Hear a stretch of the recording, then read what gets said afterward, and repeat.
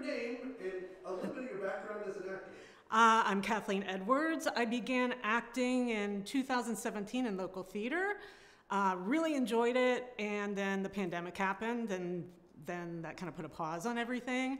Uh, after the pandemic, I started taking uh, acting lessons and uh, co- coaching ses- sessions with uh, Dana Griffith.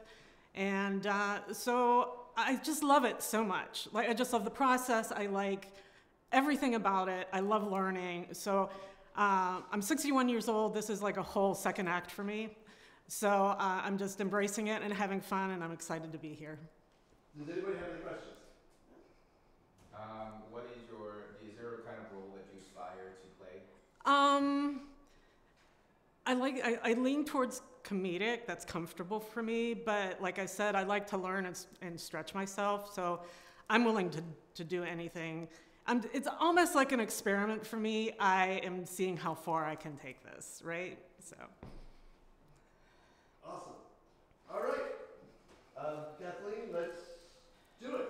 Uh, if you want to uh, slate and then to tell us what you're going to read and then go ahead. all right. Um, slate meaning sorry. I'm Uh, you say you say your name, you say what you're reading, and then and then you read it. All right. Okay, see, I learned something new. All right. Um, my name is Kathleen Edwards. I am reading Sharon's tirade from the play Detroit.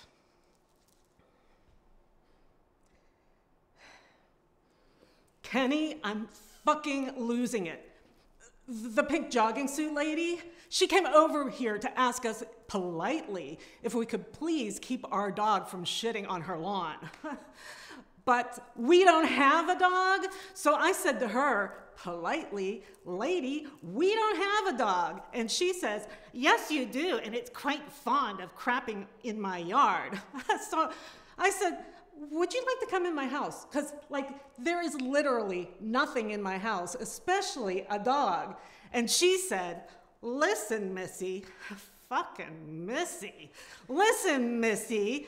This dog just appeared out of nowhere and started crapping in my yard. I'm not asking you to get rid of it, I'm asking you to clean up its crap. so I say, Ma'am, People have accused me of many things before, but they have never accused me of having a dog. you need to knock on some more doors. So she says,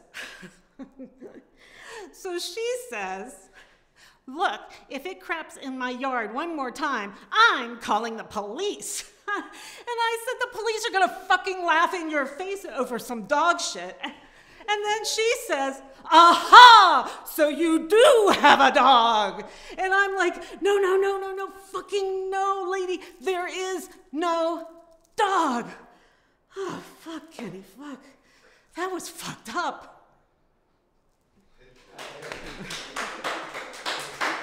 You, thank you. Any any last questions for Kathleen? Great, great job. Thank you so Thank much.